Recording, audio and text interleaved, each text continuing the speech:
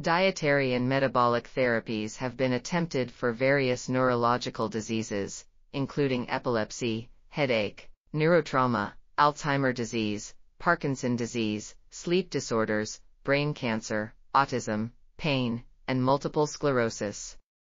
The rationale behind these treatments is the lack of effectiveness of pharmacological therapies and the appeal of natural treatment. However, the spectrum of pathophysiological mechanisms underlying these diseases suggests that a single dietary treatment may not be effective universally. Nonetheless, alterations in certain dietary constituents could affect the course and outcome of these brain disorders. The ketogenic diet, KD, is an example of a dietary treatment with proven efficacy against epilepsy. Its mechanisms are unclear, but evidence suggests that its effectiveness may be related to normalizing aberrant energy metabolism.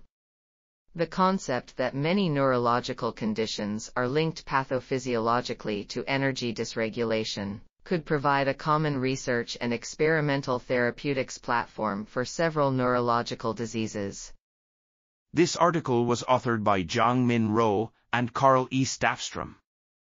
We are RTCL.TV, links in the description below.